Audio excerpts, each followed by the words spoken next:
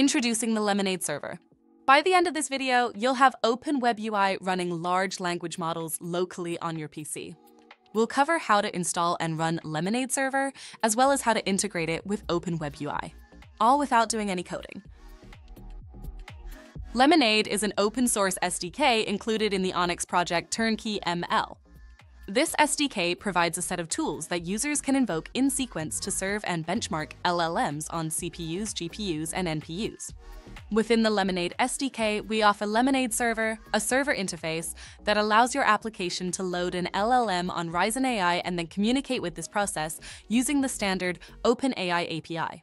This allows applications written in any language to easily integrate with Ryzen AI LLMs using Lemonade Server because it is language agnostic. What this means is that a huge library of pre-existing OpenAI apps will work out of the box with Lemonade Server without the user needing knowledge of OGA or Ryzen AI to use it.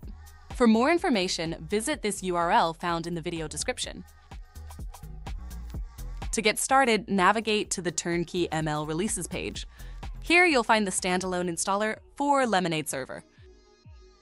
Download by clicking on the file name.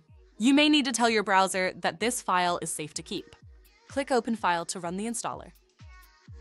Step through the installer where you can select which models you want to download to use with Lemonade. Once installation completes, click Run Lemonade Server. You can also start the server by using the Lemon desktop icon that was added during installation. Next, install OpenWebUI by following the steps provided in their Quick Start Guide, linked in the video description.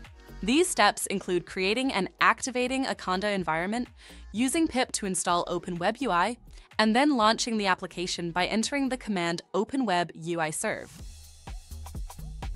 Once you've launched OpenWebUI, navigate to this URL and create your admin account. Next, we need to update OpenWebUI to point to our local server.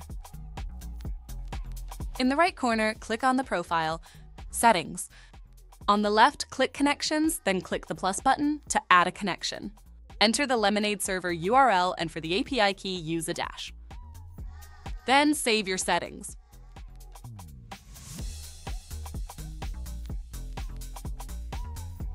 You can select one of the hybrid models that were downloaded during the Lemonade server installation.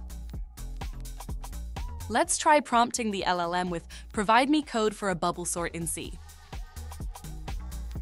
And there you have it, OpenWebUI integration running LLMs on the NPU and iGPU in your Ryzen AI PC. For detailed instructions on installing and using Lemonade Server, see the Lemonade Server README linked in the video description. Thanks for watching this series on running LLMs on Ryzen AI PCs. To see other applications that we've tested with Lemonade Server, navigate to Lemonade Server example README found at this link. Or try adding it into your own application and let us know about it at turnkeyml at amd.com. Be sure to like and subscribe to see future content.